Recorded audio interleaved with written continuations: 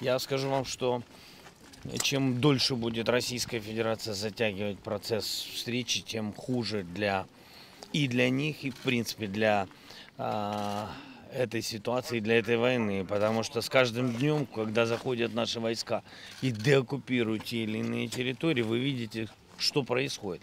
Очень сложно разговаривать, очень сложно разговаривать, когда ты видишь а, то, что они тут натворили.